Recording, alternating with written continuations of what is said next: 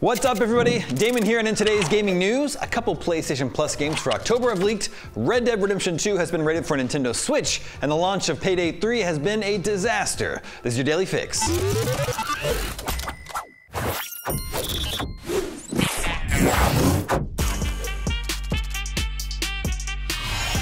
The ever-reliable billbil-kun of Dealabs has leaked upcoming PlayStation Plus games, this time with a couple of headliners for the essential October lineup. According to billbil-kun, two of the three headliners are The Callisto Protocol and Farming Simulator 22. The third game remains a mystery. The Callisto Protocol is the spiritual successor to sci-fi horror classic Dead Space. It's definitely a fitting game to join the service during the spooky Halloween season.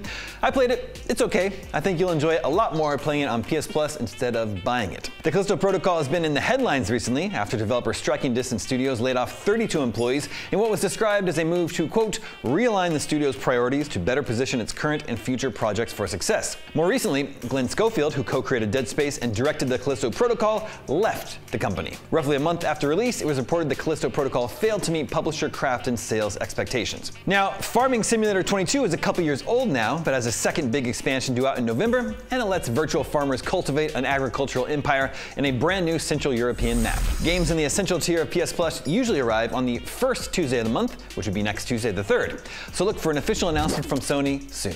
Moving on, Red Dead Redemption 2 may launch on Nintendo Switch if a ratings board is to be believed. Twitter user Necrofelipe pointed out the Red Dead Redemption 2 listing on the Brazilian government's website. The listing, which is still online as of this taping, mentions Nintendo Switch under platforms alongside PlayStation 4, Xbox One, and PC. It's unclear when this listing was updated to include Nintendo Switch, and Rockstar has yet to comment.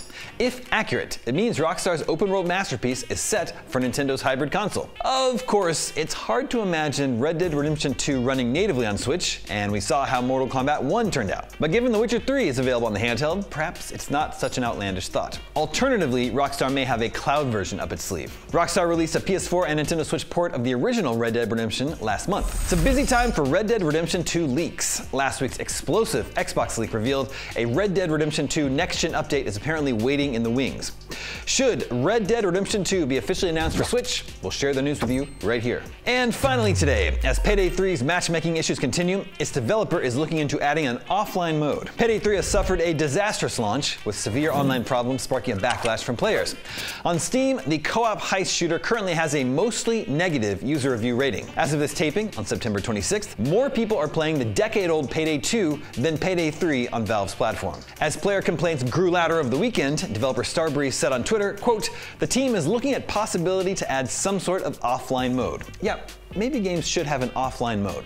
So what went wrong here? In a note to press, Starbreeze pointed its finger squarely at its third-party matchmaking partner. Starbreeze's statement reads, Payday 3 matchmaking infrastructure has not performed as tested and expected. Matchmaking software encountered an unforeseen error, which made it unable to handle the massive influx of players. A new version of the matchmaking server software was gradually deployed across all regions, leading to improved performance. However, a software update made by the partner during late Sunday again introduced instability to the matchmaking infrastructure infrastructure. The partner continues to work to improve and stabilize Payday 3's online systems. The issue in question did not manifest during technical betas or early access due to the specificity of rapid user influx and load balancing. Starbreeze is currently evaluating all options, both short and long term. In the short term, this means Starbreeze's focus is to ensure the player experience. In the long term, this means evaluating a new partner for matchmaking services and making Payday 3 less dependent on online services. The head of Starbreeze also issued a new statement, which reads, We are disappointed in the issues our player base has faced during our our launch weekend, but we are confident in our core product and the quality of Payday 3,